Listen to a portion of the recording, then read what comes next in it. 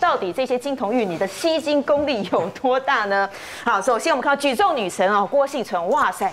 实在是太赞了，举起自己的一片天，也举起了咱们台湾来。没错，大家看到郭幸存举起这个奥运金牌的时候，大家真的都非常非常兴奋，为他疯狂。对，那他包括说他现在已经这个成为台湾家喻户晓的人物之外，当然最重要是说，对他本身而言来说，这一次的国光奖金加上赞助商，他可以获这个进账两千两百八十万。那加上说他其实之前呢，他可以说完成金满贯，这个四大运啊、世世锦赛啦、这个亚洲杯啦，什么全部都金牌都拿到。他生涯奖金呢，其实已经有数千万之多。但是我我必须讲，他其实大部分的这个费，这大部分的收入都来自于奖金。那至于代言的部分，其实之前他们的经纪人曾经有说过，有这个厂商愿意请他代言，包括说有食品公司说，哎，你可以领终身哦。听说他很挑哎，对，严选，哎，你可以领终身，一个月六万到七万，但是他也不愿意。那甚至有素食业者、素食店业者请他这个代言，他就说啊，因为他不吃了，所以他也没有代言。所以基本上他是对于广告呢是比较有挑的这个状况。那当然另外一个来说的话，这一次的这个也是另外一个夺金大热门。就是我们戴资颖小戴。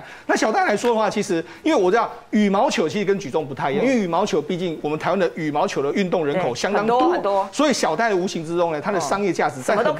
厂商里面看起来可能就比较多。那你看他现在代言的，包括说我们现在电视上这几天大家都会看到这个外送平台的这个广告，那包括说像这个燕麦奶啦，包括说像这前一阵子也有在这个电视上打这个所谓魔镜，那是。甚至羽球装备都不用讲，那这个饮料，甚至是有这个素食店等等，很多都是他代言。那我们讲，其实小戴的这个代言的话，因为他从这个两千零九年开始比赛嘛，那两千零一十一年拿到美国羽球的这个黄金大奖赛之后，两千零一十六年登上后座之后，其实出估了，因为其实际上羽毛球它也有它的奖，也有奖金的，比赛有奖金，但它的奖金没有那么多，它大部分的。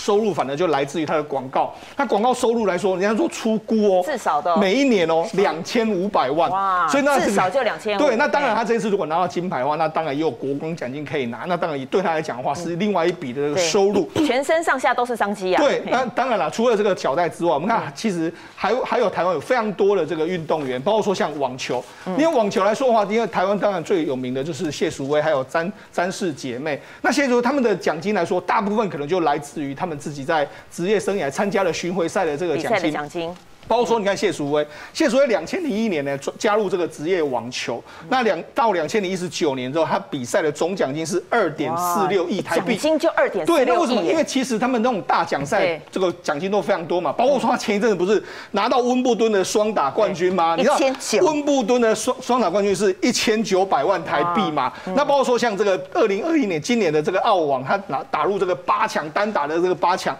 他的奖金是一千一百四十二万嘛。所以你看加。从两千零六年，然后他哎，从两到两千零一十九年，加上今年的奖金的话，累计总奖金是二点七五亿。对，而且本身他也在奖金赚很多，但是他其实他代言没有接那么多，一路给大家感觉他是很刻苦、对对对，简朴的形象。哎，很很多这个广告商，像这一次的这个前一阵子他去澳洲这个比赛的时候，不是很多人就说，哎，你全身上下怎么没有任何一个赞助商？后来还有赞助商跑去找他，所以我觉得某种程度来讲的话，他可能跟国内的这个这个连接没那么深啊。那反而是詹氏姐妹，因为詹氏姐妹来说的话，他们在国内来说，他们有专专属的经纪人，而且他们在国内有接一些广告，但他们成绩也是不错啦。所以你看，詹永然两千零四年以来进账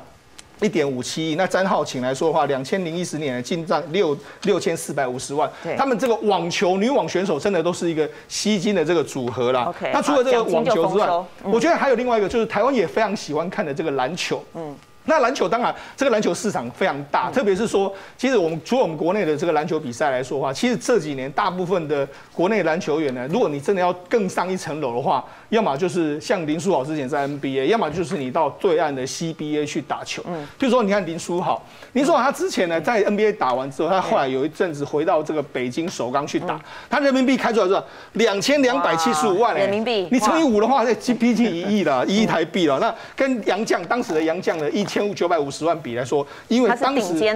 当然了，他是第一个在 NBA 打出名堂的名号的这个华人，那当然他们用高价去把他把他请回来，那是很正常的。对，但是他其实在北京在 CBA 不是打的不是很习惯 CBA 的风格啦，所以后来他又离开了 CBA。那另外一个就是我们台湾选手刘铮，他实际上他现在是。